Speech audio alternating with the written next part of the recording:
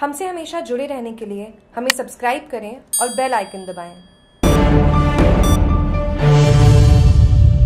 Corona से लड़कर लौटे ताराराम का जोरदार स्वागत, पहनाई मालाएँ, उड़ाया गुलाल कस्बे निवासी तिरालीस वर्षीय ताराराम बंजारा की कोरोना जाँच रिपोर्ट के लिए सैंपल लिया, जिसमें वो कोरोना महामारी से संक्रमित पाए गए। लेकिन इस पर वो घबराए नहीं, बल्कि आत्मविश्वास व सकारात्मक विचारों ने ताराराम के तन मन पर कोरोना वायरस का असर ज़्यादा दिन तक रहने नहीं दिया।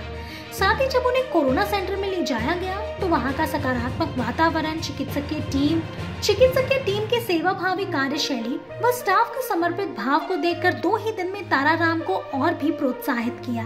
ताराराम ने बताया कि कोरोना का हरा भरा वातावरण, उत्कृष्ट चिकित्सकीय सेवा एवं वहाँ पर अन्य व्यवस्थाओं में लगी स्टाफ की कार्यशैली से जब वे परिचित हुए तो कोरोना का डर बिल्कुल गायब हो गया।